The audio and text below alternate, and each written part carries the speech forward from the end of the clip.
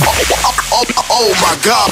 Who's got beef? Who's smashing who? Smashing. Hey, This is hip hop news. Start right, right, right, right now. now. Gossip. Yeah. 411. Yeah. And all the latest tabloid bullshit. Let's go. Let's go. I got that juice. juice. New AP. She got that juice. I got your juicy entertainment news for Thursday. R. Kelly's lawyers were in court yesterday to set the trial date for his second sex abuse trial. In Chicago, the trial date, if stands, will take place August next year, almost exactly one year after the start of his most recent Brooklyn trial that just concluded.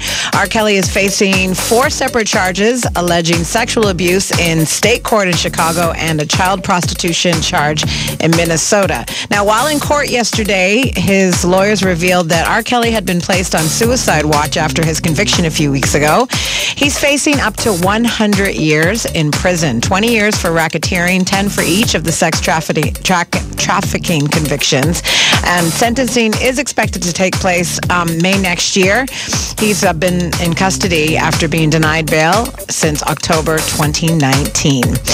Hundreds of protesters rallied outside of Netflix's offices in Hollywood yesterday. Protesters were there in support of transgender employees who staged a virtual walkout over transphobic remarks in Dave Chappelle's comedy special, The Closer. Now, in the special, he insists that gender is a fact and accuses the LGBT community of being too sensitive. Netflix CEO Ted, Ted Sarandos said that he screwed up by denying that The Closer may have hurt trans people, but has rejected demands by trans employees to remove The Closer from Netflix and um, also to add a disclaimer to the special.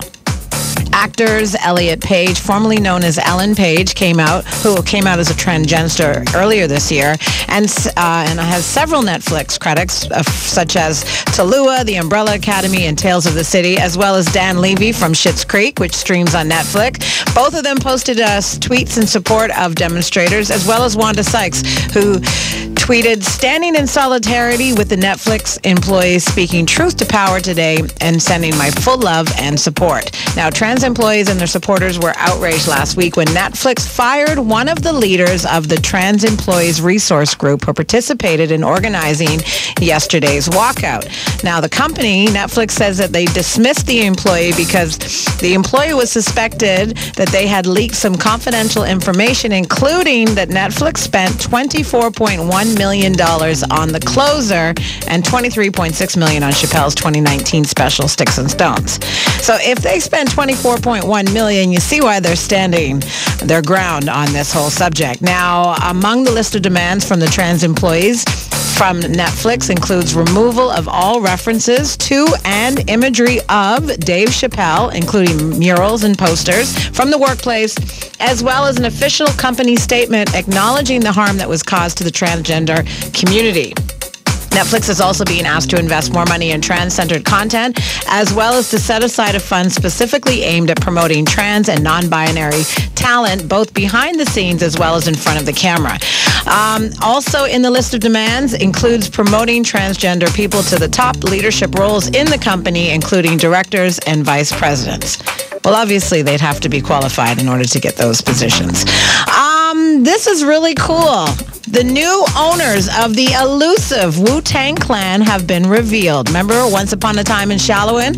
Well, they have finally revealed their identities. A group of 74 crypto fans named Pleaser Deo. They confirmed that they are the ones who purchased Shaolin from the federal government in July for $4 million. The group is known for purchasing digital collectibles honoring anti-establishment rebels. And unlike the album's previous owner, Martin Shkreli, they plan on sharing the album with the world. However, they have to talk it over with RZA first because um, the album cannot be commercially released until 2013. Now, remember, Shkreli, uh, I think it's Shkreli, he was also known as the Pharma Bro. He actually first purchased the album for $2 million in 2015, but he was arrested and um, eventually convicted for securities fraud in 2018, and the government seized his assets, including the classic Wu Tang album. And that's your juicy entertainment news. And you know I had to do it, right? Taking you back with the woo right now. Lock it in again tomorrow for more of the juice on the all new Kiss 96.